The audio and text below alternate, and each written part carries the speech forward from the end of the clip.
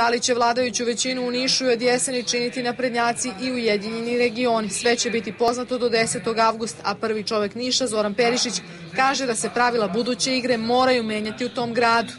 Nije sporan nastavak saradnje sa URSom, ali mora da se redefiniše na koji način, pod kojim uslovima, ako je potrebno uz reviziju koalicijonog sporazuma, ali ja jednostavno nisam spreman da trpim ničije uvrede, ničije šamare i ničije objašnjenje da ja ne valjam. Ne znači, niti to izgovaram, da ćemo sada praviti gradsku vlast bez regiona ili bez SPS-a ili bez DSS-a.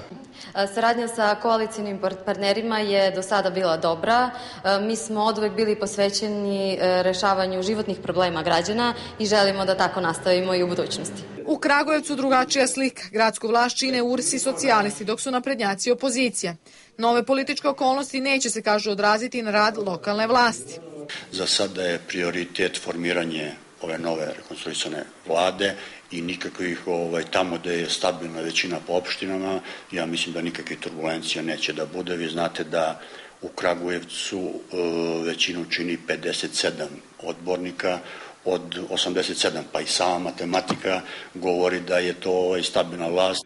Velike turbulencije odlaza kursa iz vlade ne bi trebalo da promene sliku na lokalu, kažu u Cesidu. Ursova prednost je, kažu, i što ima veći potencijal po gradovima Srbije nego na republičkom nivou. To je sad samo pitanje jedne političke taktike, da li će se ići ili se neće ići ove, od strane Ursa u tu jednu konfrontaciju sa čitavim blokom vladajućih stranaka ili će prosto oni pokušati e, da na republičkom nivou grade jednu politiku, a da lokal ostane onakav kakav jeste u ovom trenutku. To je meni u ovom trenutku izgleda kao realni scenario. Dakle, da će oni pokušati da grade tu konfrontaciju na republičkom nivou, ali na lokalu će gledati da ostanu na istim pozicijama. To međutim ne znači da neće biti pojedinačnih prelazaka odbornika iz URSA u SNS. I pre izlaska Mlađana Dinkića iz vlade, nekoliko odbornika u opštini Bor prešlo iz URSA u Srpsku naprednu stranku.